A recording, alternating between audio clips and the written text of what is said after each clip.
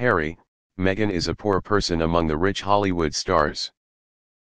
The former editor of Vanity Fair said Prince Harry and Meghan don't have enough money to compare with the super-rich stars in Hollywood.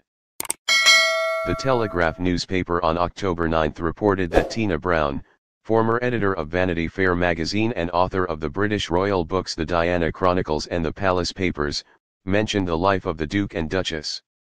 Duke of Sussex in California, USA, while participating in the Henley Literary Festival, UK. The female author describes the status of Harry and Meghan as only a D-class, poor by Hollywood standards. It's not pleasant to be a D-class celebrity who, for them, doesn't have enough money. That makes them feel out of place when staying with the super-rich class A.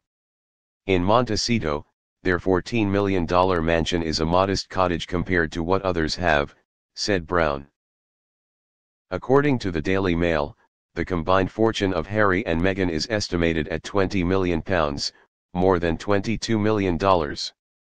Meanwhile, their neighbor, media tycoon Oprah Winfrey, MC leading the shocking interview of the estranged royal couple, has £2.26 billion, $2.49 billion, in hand.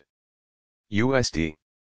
Also nearby, Jay-Z and Beyoncé are worth around £1.35 billion, $1.49 billion.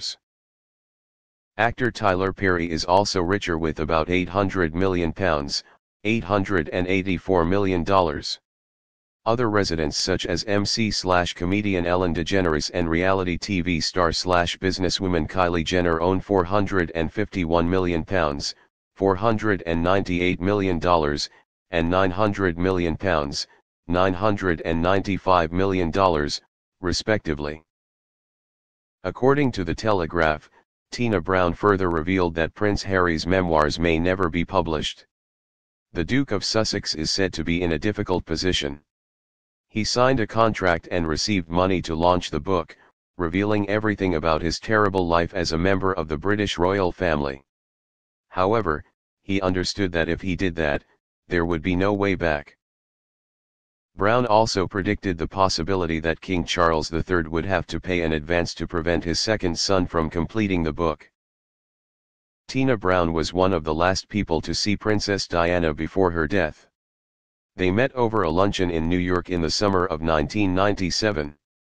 The former Princess of Wales died at the end of August of the same year. When asked what advice the biographer believes Diana would give her son if he were still alive, Brown suggested that Diana would advise Harry to return to the family. Diana is very pragmatic. I think she's going to tell Harry that what he's doing isn't going anywhere, needs to compromise and find a way back, she speculated. In early October, the Santa Barbara News Press reported that Harry and Meghan wanted to move from Montecito to Hope Ranch, a coastal suburb of Santa Barbara, California, about 16 kilometers from their current residence. The source said that the couple wanted to change places because the nine-bedroom villa they lived in since March 2020 is no longer suitable. In July, it was reported that the house had many break-ins in May.